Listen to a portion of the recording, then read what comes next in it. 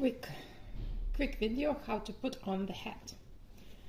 A hat has uh, these uh, little straps. And our goal is to put like this. And straps should go one behind the ear and one in front the ear. And same on the other side see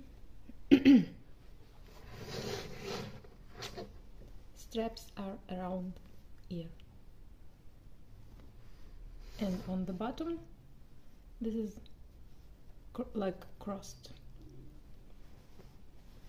And you style it just like you wish. On one side and front back. Just like as you wish. And make photos